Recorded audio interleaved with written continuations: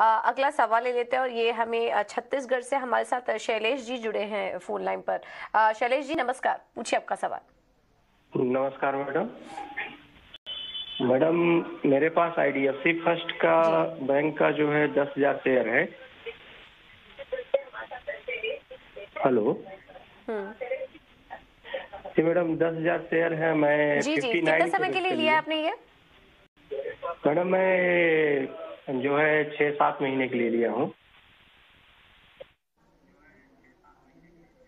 ठीक है।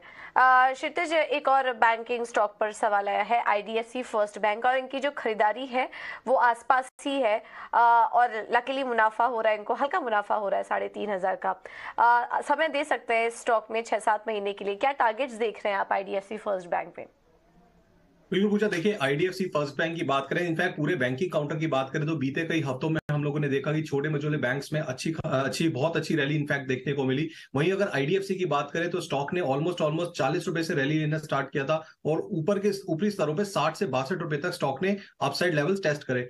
अब फ़िलहाल की बात करें तो देखिए स्टॉक एक दायरे से गुजर रहा है। डाउन साइड की बात करें तो छप्पन रुपए के लगभग काफ़ी स्ट्रॉन्ग सपोर्ट बिल्डअप कर लिया स्टॉक ने। अपसाइड की बात करें तो सिक्सटी से सिक्सटी के जोन में काफ़ी स्ट्रॉन्ग रेजिस्टेंस डेवलप करा है। तो मेरी सलाह रहेगी देखिए स्टॉक अच्छा है टेक्निकल सेटअप थोड़ा सा भी कंसोलिडेशन की तरफ़ यहाँ पे इशारा कर रहा है बट आपका जो व्यू है थोड़ा छह महीने की तरफ़ है तो मैं आपको सलाह दूँगा यहाँ पे स्टॉक को होल्ड करके चलिए। आने वाले सेशन में स्टॉक एक बार फिर से रैली लेने के लिए तैयार है। आप डाउन साइड की बात करें तो मुझे लगता है छप्पन रुपए तक के लेवल्स को जब तक स्टॉक डाउन साइड में मेंटेन कर रहा है अपसाइड लेवल अपसाइड लेवल जो है सिक्सटी थ्री सिक्सटी फोर के levels over the period of weeks देखने को मिल सकते हैं। तो सलाह रहेगी कि स्टॉक के अंदर बने रहे स्टॉप लॉस मेंटेन करने की ज़रूरत है छप्पन रुपए के नीचे।